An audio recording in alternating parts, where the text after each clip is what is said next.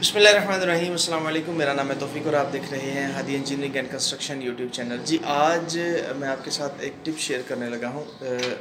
तार का जोड़ लगाते हुए जब भी आप इलेक्ट्रिशियन से काम करवाएँ तो जो पाइप के अंदर जोड़ लगाते हैं उसको किस तरह लगाना चाहिए वो मैं आपके साथ शेयर कर रहा हूँ। ठीक है? ठीक है? एक ज़ोर ऊपर चला गया और एक ज़ोर आएगा नीचे। ठीक है। ये हम तार को पहले बीच में से खोलेंगे। ओके। फिर इसके साथ ऐसे ज़ोर लगाएँगे। ठीक है। अगर वैसे लगाएँगे तो वो लूज रहेगा ज़ोर। अच्छा। इस तरह का ज़ोर ये फ़ायदा होता है कि जब हम तार को खींचते हैं तो ये ज़्यादा मज़बूत हो जाता है। ठीक है। ठीक है? ठीक है। इसमें ज़ोर लूज नहीं रहता। ज़्यादा मजबूती पकड़ ज़्यादा मज़बूत हो जाता है। और वो दूसरे वाला जो जोड़ा उसको खींचेंगे तो वो खुल जाएगा। हाँ जी। या खुल जाएगा। वो ज़ोर लूज हो जाता है ये नहीं होता। तो जो अंडर वॉल्स जो होगी अंदर पाइप के अंदर जो जोड़ होगा तो वो तंग करेगा। हाँ बाद में। इस तरह। इस तरह इसको करके उसके ऊपर हम टेप कर देंगे।